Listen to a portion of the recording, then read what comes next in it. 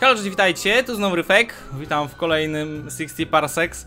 Dziwnie wyglądam bez okularów, co? Wiem, przepraszam, a się ugryzłem, a mam spuchnięte wary, bo przed chwilą mi młody przypalił z bara, jak grałem w piłkę.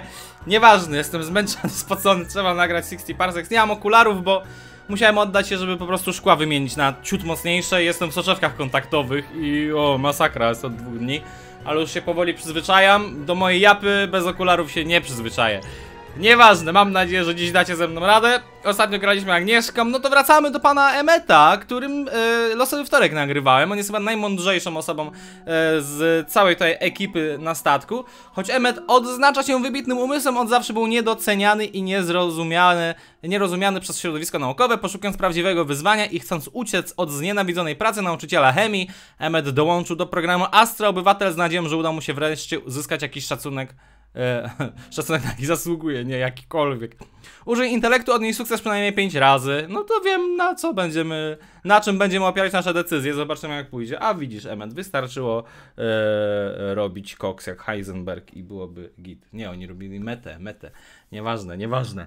Eee, powtarzam się, powtarzam się. Dobra, lecimy, Emecik. On ma strasznie dużo czasu, tu widzę. Ja już was mogę zgarniać. Proszę bardzo, Didi. Pistolet. Tutaj są dwie puchy zupy. Łopata, tutaj jest zupa jedna, na koniec mi się wydaje raczej. A, jak nie mogę odłożyć. Dobra, sprawdźmy jeszcze co tu jest. Chemikalia, irenka. Słabo tu trochę jest, szczerze mówiąc. A mi się rozmazuje przez te soczewki. Dobra, idę w lewo na dole, szczerze mówiąc. Mam nadzieję, że tu coś ciekawszego znajdę niż w tych miejscach, gdzie już byłem.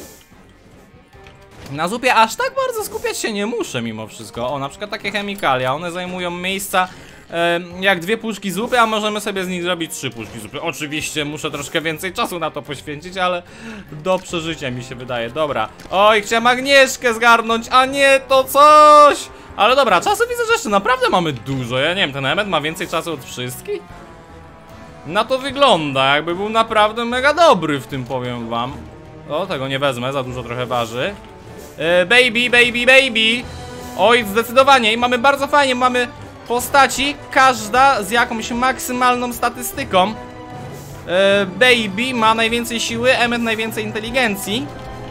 Oj, tu już nie zdążę nic zgarnąć, oprócz tej zupy jeszcze na górze. Zdążę, zdążę. Dobra, zdążyłem. No i git.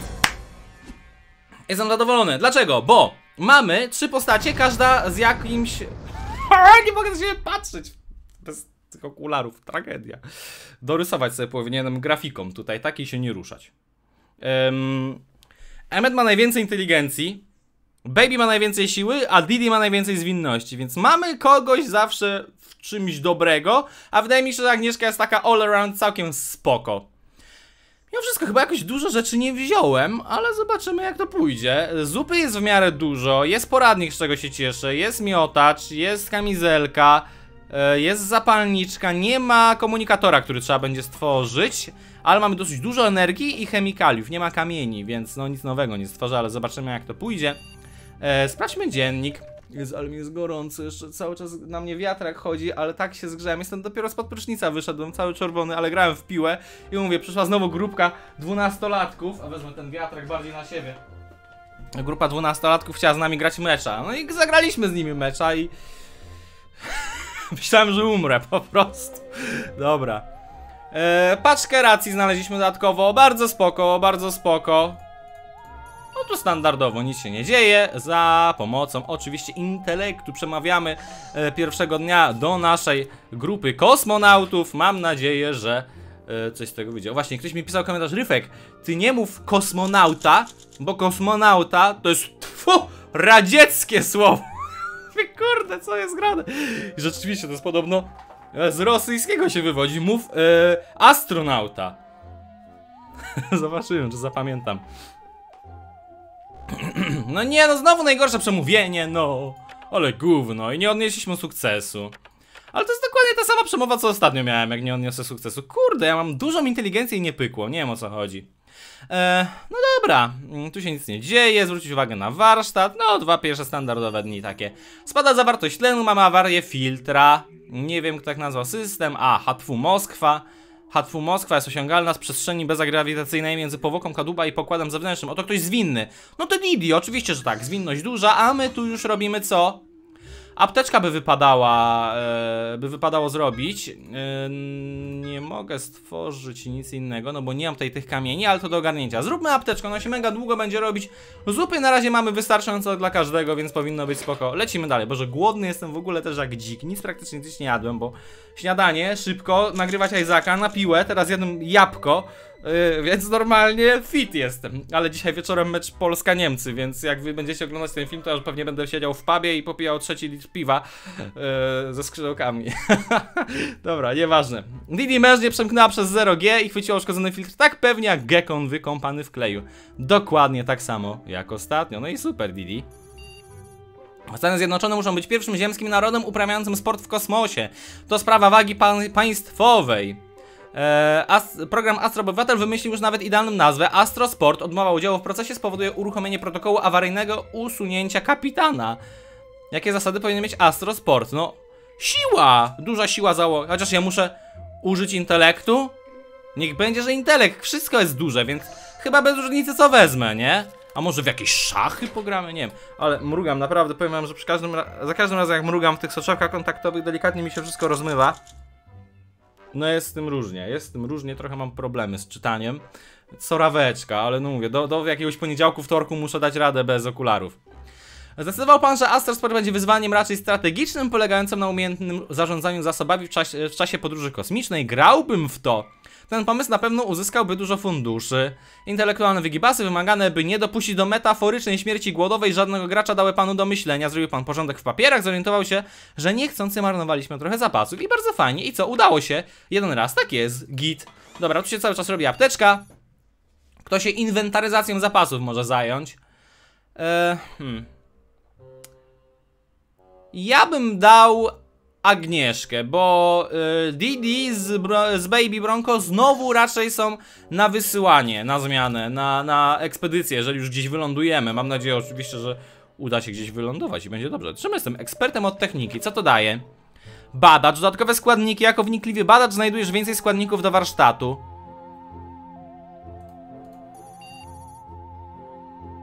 A, bo to jest do, do, do żarcia. No ale zaraz. Inwentaryzacja zapasów. A to zrobię to ja. Może, nie wiem, więcej znajdę jako ten gość od techniki, nie mam pojęcia. No bo chyba rzeczywiście, jak mam do wyboru swoją postać, to nie chodzi o przybór tej misji. Yy, tylko o jakiś po prostu losowy event. I dodatkowe dwie zupy znaleźliśmy. Super. I znowu jest to 9.11. To mnie... To mnie śledzi. Ja nie mogę do Stanów Zjednoczonych lecieć następnym razem. Dobra, yy, co tu mamy do zrobienia? O, i pana to. Pisaliście mi, że poradnik można. Rzeczy te można ulepszyć, mniejsza szansa, że się rozwalą na ekspedycji. Ale poradnik ulepszony? Co on? Poradnik można wziąć w ogóle na ekspedycję? Może i tak, nie pamiętam. Dobra, yy, zróbmy pacynkę, też się przyda na pewno. A my co tu mamy? Nie mam nic do zameldowania, kapitanie. Yy, czy zechciałby pan zasłaniać usta przy ziewaniu? Yy, musimy ekscytację jakieś mieć. Yy, poczytajmy coś. Emmet jest intelektualistą. Wydaje mi się, że czytanie tutaj yy, jakiegoś poradnika do kosmosu na pewno mu sprawi dużo radości. Dzień wczorajszy zaczął się raczej powolnie. Udało się panu to zmienić. Przeglądając poradnik w toalecie, znalazł pan zestaw ćwiczeń, postanowił je wypróbować. O, czujemy się o wiele lepiej, super. Ale nie mamy napisane, że jesteśmy jacyś czujni czy coś. Dobra, dzisiaj wszyscy macie papu. A co tu się dzisiaj dzieje? O nie! Automat z przekąskami. Z przekąskami do naprawy. A nie mam taśmy ani szpadla, ale gówno. I go nie naprawię. A taśmą zawsze się naprawiał, dodatkowe zupy dostawałem. Na początku ja byłem mega w szoku w ogóle, właśnie jak pierwszy odcinek tutaj grałem, że yy, ja poszedłem na statek z bardzo małą ilością papu. A mega dużo eventów było na dostanie tego papu. Kiedy pan spał, przeprowadziłem głosowanie i wygrałem. Jedno za, zero przeciw. Wendy, maszyna musiała odejść. A, no dobra, poszła sobie i już papu nie będzie. Dobra, trudno. Yy, ulepszamy coś, czy robimy coś nowego? Bo ja chyba nie mogę tutaj niektórych rzeczy zrobić, dopóki nie ulepszę tego warsztatu. Chociaż nie chyba, może wszystko zrobić. Ulepszmy po prostu coś, no, bez różnicy. Ulepszmy może, jak na ekspedycję, to kamizelka mi się zawsze wydaje dobra. A co tu mamy? E, szyfr do zdekodowania. E, Elis, no tak, bo ty jesteś mądry bardzo i wydaje mi się, że dasz radę. Emmet, Emmet Elis. W ogóle czemu macie imię, nazwisko jak imię? Marek Marek. Mam takiego kumpla. Nie powiem dokładnie jak się nazywa, ale ma właśnie imię, imię nazwisko w stylu Marek Marek. Przerywane, przecież to... Rodzic chyba wie jak ma na nazwisko dziecko na, nazywa, nie? Kajetan Kajetanowicz, no to nie wyjdzie nigdy w życiu ze mnie. Na haju musieli być starzy. Dobra, znaleźliśmy sygnał, to dokładnie tak samo jak zawsze. Mm, Trzy dni tylko. O, proszę bardzo. Trzy dni lecimy na planetę jakąś. Eee... No nie jest o niej nic napisane. To jest dokładnie ten sam event co zawsze, więc nie ma co tego czytać. Wylatujemy w obszar kosmicznego gazu, jego pochodzenie jest nieznane. E, Ktoś e, dzisiaj zapomniał o myciu zębów? Nie, to tylko gaz przedostający się do wnętrza promu. Ktoś powinien spróbować wyizolować trochę do późniejszego wykorzystania. E, Didi. Didi ma przeciętny intelekt, ale zwinność dużą i wydaje mi się, że ona powinna ten gaz złapać do puszki. Będziemy mieli znowu na zrobienie zup dodatkowych, które może nawet teraz zacznę robić, szczerze mówiąc. I czekaj, ja ulepszałem ostatnio co? Kamizelkę. Czy da się dwa razy ulepszyć rzeczy? Wydaje mi się, że tak. Ale na razie ulepszać nic nie będę. Zróbmy sobie po prostu dodatkową zupę, bo zupy więcej. i- Zupy nigdy za wiele. Nikt nie jest głodny, nikt nie jest głodny. Super. Lecimy kolejny dzień. Oj, to nie była April Lavigne, tylko Avril Lavigne. Nie wiedziałem. Też mi napisaliście. O, i super. Dała sobie Didi radę. 25 chemikaliów, mega dużo. Za dwa dni będziemy e, przy planecie. A my mamy zamknięty safe w kącie. To safe dowódcy znaczy pański. Kapitanie, ma pan kod do niego? Oczywiście. Nie? To niemożliwe. Czy naprawdę był pan mianowany kapitanem przez Astro Obywatelskie Dowództwo? No dobra, e, na sile to ja nie za bardzo mogę polegać, więc na ponadprzeciętnej zręczności będziemy polegać. Mam nadzieję, że się uda. A tymczasem ulepszmy sobie poradnik i lecimy. Kolejny dzień. Nikt głodny chyba nie był, tak jak patrzyłem, więc powinno być spoko. Nie no, bez okularów to moje czoło jest teraz gigantyczne już. Tak z daleka jeszcze trochę lepiej wygląda, a tak z bliska? Ale aż o, oczy bolą, nie mogę, ja, ja normalnie mogę trzymać oczy otwarte z dwie minuty, bez mrugania, naprawdę dobrze mi to idzie, ale w tych soczewkach to 20 sekund to jest maks. Udało się panu zamać kod, co? Yy, wewnątrz była tylko mała kartka papieru z tekstem do zrobienia włożyć do sejfu coś ważnego. No to dzięki, dzięki. Dobra, za dzień powinniśmy dolecieć do tej planety. Zróbmy sobie kolejną zupkę. Yy, ja sprawdzę, jak jest z głodem. Głodna, głodny, głodna. Jak ran? Czekaj. Od kiedy ty jesteś ranny? Kapitanie, z tyłu trójgłowy ru ruski. Ojoj, proszę o wybaczenie, kapitanie, nie przewidziałem tego, że rutynowe ćwiczenie skłoni pana do takiego podskoku, że aż rozbije pan sobie głowę. Źle to wygląda, chyba pan krwawi. Debilizm. No nie, Emmet, ty boi dupo, ty. Dobra, zróbmy zupę, potem się zrobi e, ten. em, ile mam tych materiałów? Pięć tylko. Ty, nie, nie, nie, nie, nie. Ja muszę rozmontować dzisiaj coś, żeby dostać kamień.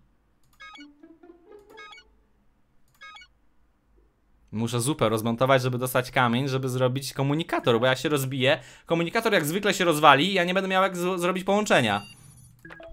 Dobra, lecimy dalej. Jutro wszyscy papu. Zupy jeszcze trochę mamy, więc jakoś specjalnie się tą zupą martwić nie muszę, mogę ją rozmontować. Eee... Serio? Jesteście wygłodzeni po jednym dniu głodowania? Jesteście niepoważni chyba jacyś.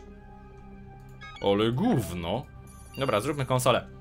Proszę się zbudzić, kapitanie. Zbliżamy się do jakiegoś ciała niebieskiego. Przypomina księżyc, ale sądzę, że to raczej mała planeta. Jak to wygląda w ogóle? Coś innego. O, jeszcze ma nawet satelitę wokół siebie.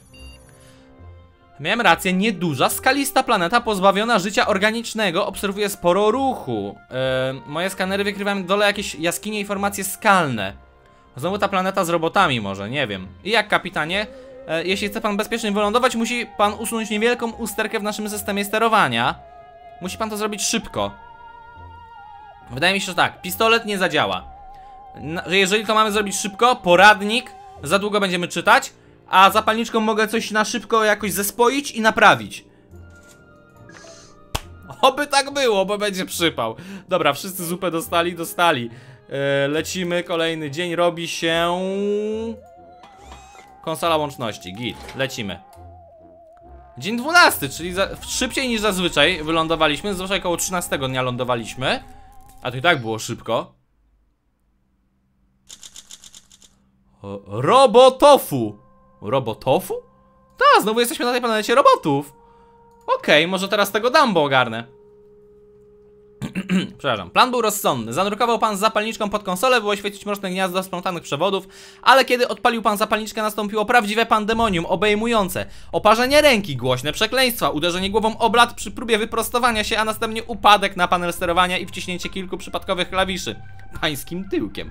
Kiedy miotał się pan jak bez głowy kurczak, do akcji przystąpiła Didi. Przemknęła obok pana, wcisnęła do gniazda przypadkowy kabel i chwyciła za stery, prowadząc prom między ostrymi skałkami ku e, stosunkowo bezpiecznej strefie. Nie było to miękkie lądowanie, po takim numerze nikt nie wyszedł cało, nawet ja. Szok wstrząsnął moimi rdzeniami. Tak jest, wszystkimi.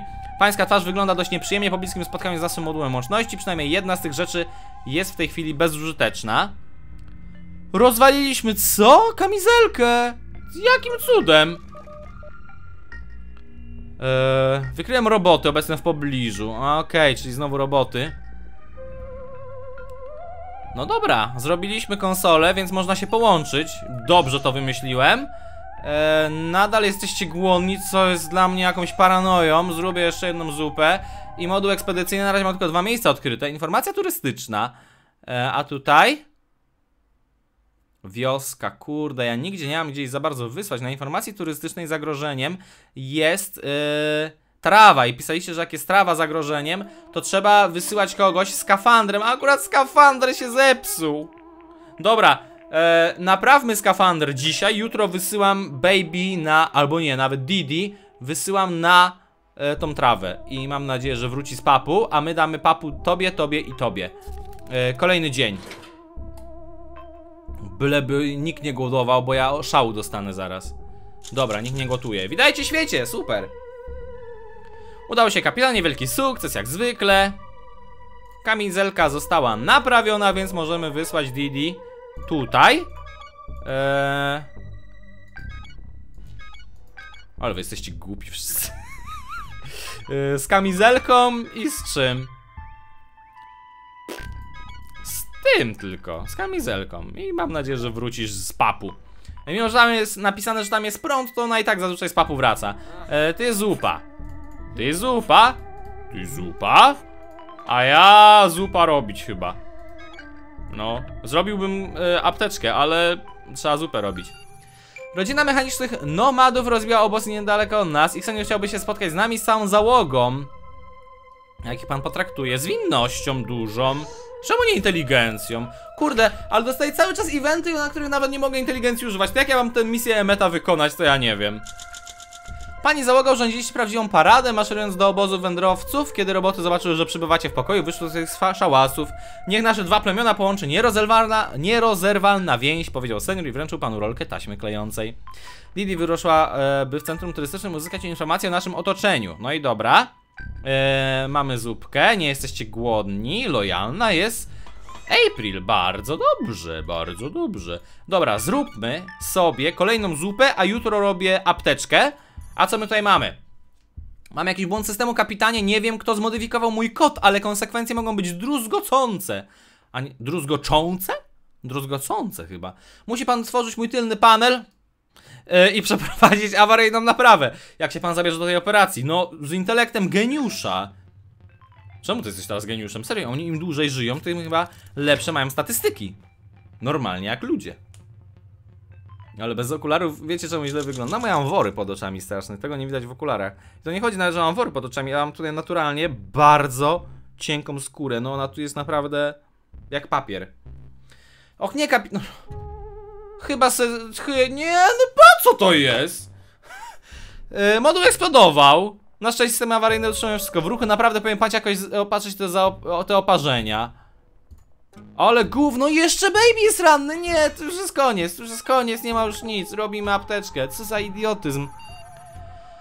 Eee, humanoidalna postać, robot idący chwiejnie w naszą stronę, ewidentnie na ślepo, podszedł do promu, teraz tłucze rytmicznie o pancerz, żałosny stwór wyraźnie ma jakąś awarię.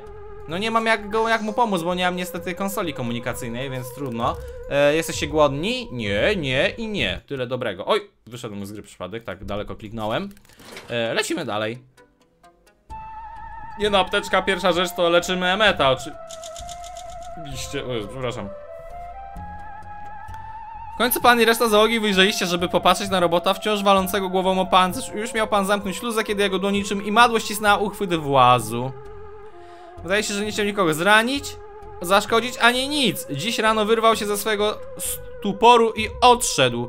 Pewnie miał ciężki poranek po ostrej nocy, ale bezsenna noc z wizją robota stojącego u stóp może naprawdę, pod, naprawdę poddenerwować nawet najsprawniejszą załogę. Nie no. Dobra, masz tą pacynkę, ty debilu. Ym, co dalej?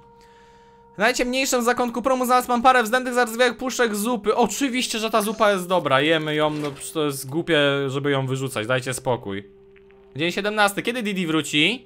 Nadal nie dziś. Dwie dodatkowe zupy, bardzo się cieszę. Głodna, głodny, głodny. Jutro mam dam zupę. A dzisiaj? Zakonujące kapitanie, ale w spiżalni leży ser. Zjedźmy, zjedzmy ten ser. Zrobię apteczkę i tak, więc najwyżej go wyleczę. Nie jadłem sera jeszcze. Ostatnio yy, powiedziałem nie temu serowi i gra powiedziała Dobrze, że nie zjadłeś, bo to było mydło. Wyślij 10 zakończonych sukcesem ekspedycji, kosmiczna podróż, dobrze. Postanowił pan zjeść dziwny ser. Niestety, to wcale nie był ser, to był niejadalny produkt mydlany. Ale nic się nie stało. Dobra, Didi. E, droga była dość kamieniasta, dosłownie, na nierównej powierzchni naprawdę łatwo było się potknąć i upaść. Kamizelka ochronna przegrała starcie z ostrymi kamieniami, ale nie została rozwalona. Didi odkryła, że placówka jest niemal pusta, był tam tylko jeden znudzony, zakurzony robot, który jako prezent powitalny wręczył jej kilka ogniw energetycznych. Pracownik informacji turystycznej ciągiem znudzonych pisków i zniekształconych słów wyjaśnił, jak Didi może odnaleźć muzeum i bibliotekę. Skąd to się wzięło poza naszym słonecznym? O, zupa, super. Didi twierdzi, że centrum było trochę zaniedbane i prawie puste. Jeśli nie liczyć jednego, trochę zardzewiałego pracownika. Najwyraźniej przemysł turystyczny nie jest już kwitnącą dziedziną gospodarki. I ostatnio mi pisaliście, że tu na dole czasami jest napisane, ja na to nie zwracam uwagi rzeczywiście, ale tu jest napisane czasami, że ktoś śledził naszą ekspedycję. To trzeba na to uważać. E, dobra, wszyscy jesteście wygłodzeni i zmęczeni, więc wszystkim daję zupę dzisiaj.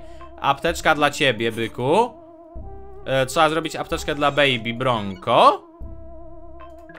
Nie zupę, tylko apteczkę. A, muszę zrobić zupę, a potem apteczkę. A, nie zrobię tego i tego. Ale gówno. Ulepsz miotacz może, jeśli go weźmie na ekspedycję. Eee... A co tu mamy? Nasza konsola komunikacyjna ma jakąś usterkę, jesteśmy najzwyczajniej w świecie ślepi i głusi, awaria może być całkiem spora, bo konsola popiskuje w sposób, którego podręcznik użytkowania stanowczo, stanowczo nie przewidywał. To dlaczego mnie mogę? A, bo go ulepszam. Dźwięk staje się coraz donośniejszy. Kapitanie, to bomba! E, kamizelkę ochronną załóżcie, oczywiście, że tak, aby się nie rozwaliła. Wszyscy papu i apteczka. Ulepsz wszystkie przedmioty w dowolnej ilości gier. Ulepszator, dostałem osiągnięcie, super. Zepsuła się, co ty gadasz? Ale gówno, no dobra. Mm, no, wybuchło i tyle.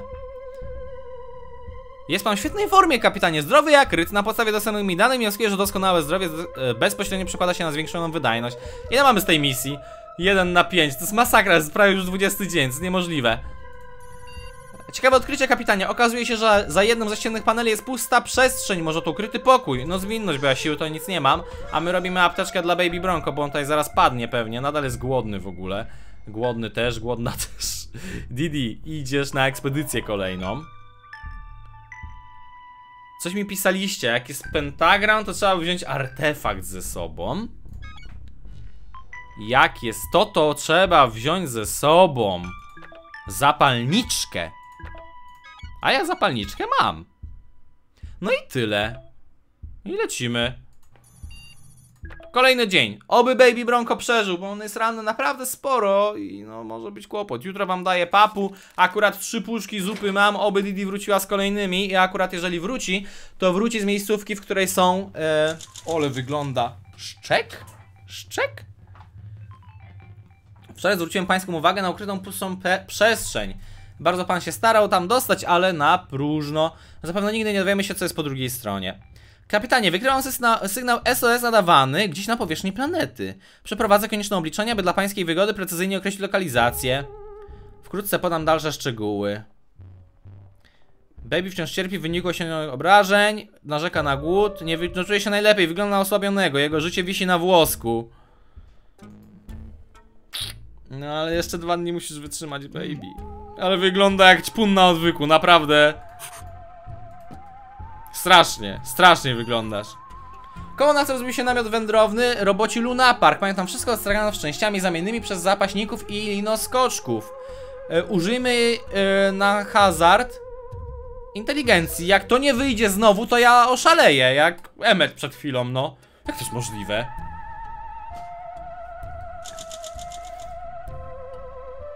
Jaki on jest głupi. Ty jesteś geniuszem w debiciu debilem chyba. Odwiedził pan namiot gier hazardowych. Reguły okazały się jednak zbyt obce, żeby mógł pan włączyć się do rozgrywki, więc w końcu inni gracze wyczyścili pana do zera. Dobrze, dostałem tylko minus 5 yy, tego. Mm. Materiałów, zgaduję, żeby mi zupę zabrali, a nie mam żadnej zupy, więc nic nie zabrali. Dobra, nie jesteście głodni, nie jesteście. E, co tu mamy?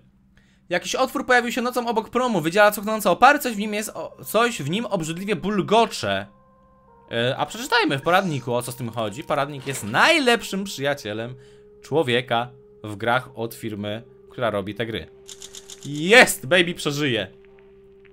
Hałaśliwa i cuchnąca dziura obok promu wymagała zbadania. Cała załoga zebrała się przy mnie i porównywała ilustrację w poradniku do tego otworu w najdrobniejszych szczegółach. Naprawdę nie powinniście się tak zbliżać. Że to chrapiący brzyd wogon kameleonowy przyszło wam do głowy dopiero kiedy obudził się i wystartował. Odleciał po drodze poważnie was raniąc. To jest niepoważne. Ehm, w końcu będziemy mieć trochę spokoju, ale was trzeba będzie trochę połatać, astro obywatele. Kapitanie, zlokalizowałem źródło sygnału SOS, jaki wczoraj odebraliśmy. Wydaje się, że dociera do, do nas z dawnej hali montażowej. Może warto ją odwiedzić. Okej, hala montażowa, muszę o tym pamiętać. A my leczymy tutaj Baby Bronco, żeby żył. System niedostępny? Dlaczego?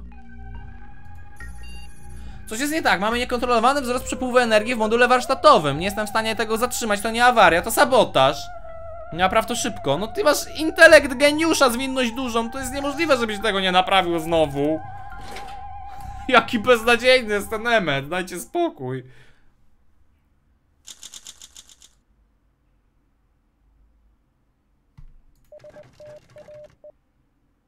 Zginął pan na służbie, nie spodziewałem się tego. Wszechświat jest pełen nieprzyjemnych niespodzianek. Zdaję sobie sprawę z tego, że miał pan wysokie mniemanie o swoich umiejętnościach inżynieryjnych. Nie bez powodu, by nie ufać pańskiej ocenie w tej sprawie. Nie było powodu, by nie ufać pańskiej ocenie w tej sprawie. Aż do teraz. Moduł warsztatowy eksplodował razem z panem. To już jest koniec. Nie ma już nic. Co za gówno zasrane, nie. Baby czuje się dziś naprawdę nieźle, jest w dobrej formie. No porażka, ten Emmet to był najgorszy w ogóle. Nie, no do dupy. Do dupy. Straszny ten Emmet. Jest napisane ile było nieudanych ten? Nie, nie było napisane, ale no tragedia. Tak złego kapitana nie mieliśmy nigdy. Tak więc Emeta nie polecam, jego geniusz jest pisany, ale przez ukreskowane i szy. Geniusz? Jak się pisze geniusz? Geniusz. Przez RZ jest pisane. Dobra, nieważne. Znowu bez dźwięku, a mnie to denerwuje. Bardzo wam dziękuję, kochani, za oglądanie. Ja zwalę winę na swoje podejście na brak okularów, tylko soczewki kontaktowe. Mam nadzieję, że Polakom w meczu z Niemcami pójdzie lepiej, a wam bardzo dziękuję za oglądanie, no i widzimy się w kolejnym odcinku już za dwa dni. Trzymajcie się i cześć, papa! Pa.